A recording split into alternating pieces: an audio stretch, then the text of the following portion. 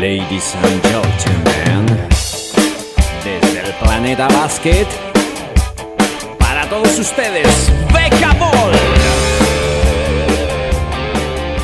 Hola, ¿qué tal amigos y amigas de Planeta Sports? Bienvenidos aquí a vuestra casa, a Planeta Deporte.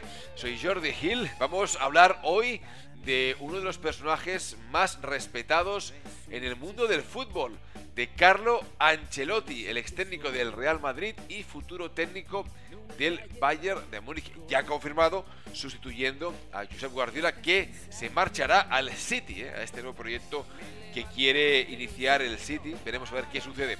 ¿Y por qué hoy es día para hablar de Carlo Ancelotti? Bueno, porque el transalpino básicamente en un medio chino, en Sin Sports, ha hecho una, una columna muy llamativa en la que el protagonista es el argentino Leo Messi, jugador del Barça, y en la que, bueno, pues Ancelotti concluye en algo que todos hace tiempo que concluimos, y es muy llamativo.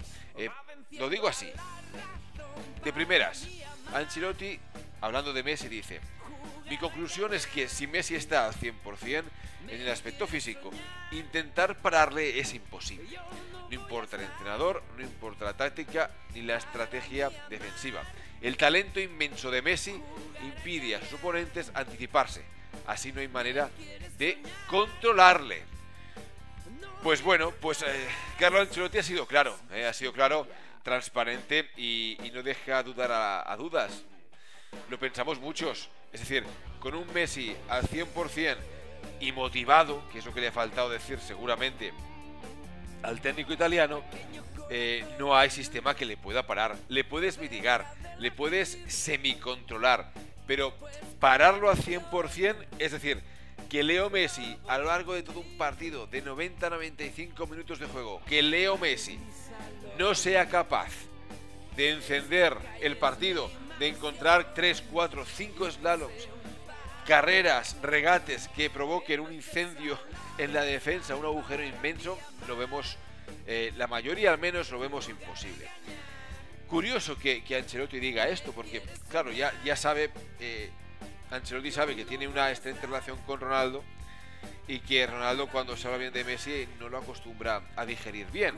Pero bueno, sí que es cierto que incluso Cristiano Ronaldo en esta batalla que ha mantenido con Messi en los últimos 7, 8 años, definitivamente ha entendido que hay dos niveles, o tres, ¿no? Está Messi, ha estado él, que ahora ya no está tan arriba, pero ha estado él y estaba el resto. Ahora podemos decir que está Messi y que hay un segundo nivel con jugadores de la talla de Ronaldo, de Neymar, etcétera. Tampoco muchos más, ¿eh? Eh, porque no seamos injustos, lo que todavía hace Ronaldo, eh, que es meter goles, eh, bueno, como churros, esto muy poquitos jugadores lo consiguen. De hecho, Neymar empezó muy fuerte esta temporada, se ha diluido y ahora es Ronaldo quien de nuevo ha cogido el ritmo en el momento más caliente de la temporada y sus estadísticas anotadoras vuelven a ser impresionantes. Bueno, amigos y amigas, lo que ha dicho Ancelotti es llamativo. Leo Messi es imparable. Muchos opinamos como él, ¿eh? pero lo ha dicho Ancelotti que lo tuvo como enemigo, como enemigo cariñosamente hablando, durante los dos años que estuvo en el Real Madrid. Y también es curioso que lo diga un hombre que coincidió con el Messi quizás más apagado. No tanto el año pasado, pero sí en la primera temporada.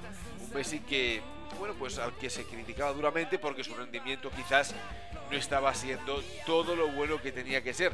Recordemos aquella eh, fase final de temporada hace dos años en la que el Madrid lo conquistó la, la Champions League y que el Barça francamente no estaba nada brillante. La Liga la cedió en el último partido liguero del Camp Nou ante un Atlético Madrid inmenso.